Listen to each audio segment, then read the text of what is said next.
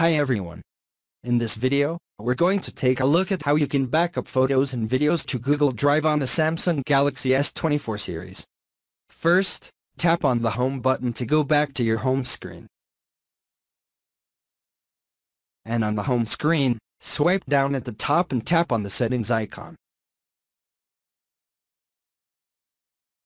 In settings, you want to swipe up to go down and tap on accounts and backup. Next, we go to Google Drive section and tap on backup data. Now make sure that in here you have turn on backup. Once backup is turned on, you want to swipe up to go down. And then tap on photos and videos. In here, by default, this is turned off. So you want to tap on the backup and sync button to switch it on.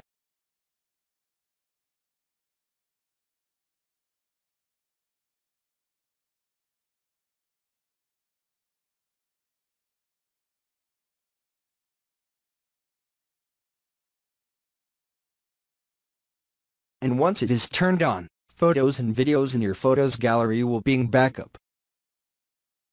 If you go down to settings, you can also choose backup quality.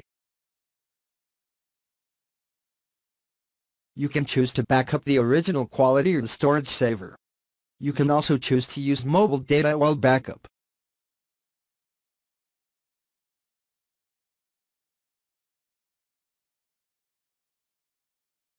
Otherwise, it will only backup using Wi-Fi only.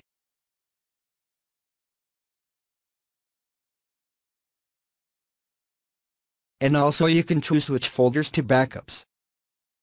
So in here, we've got a copy. I've got documents, downloads, messages, pictures. So turn on what you want to backup. So if I turn on the pictures folder to backup, it will backup all the photos in this pictures folder and then you can tap on the back key to go back.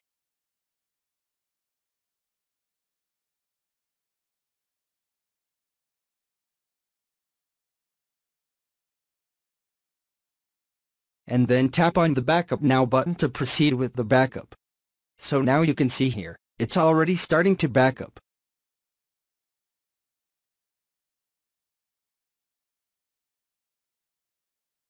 So it's already starting to back up already to the Google Drive.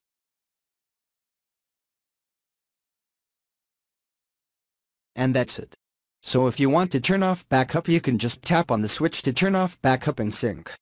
And this will stop the backup of your photos to the server. And that's it. Thank you for watching this video.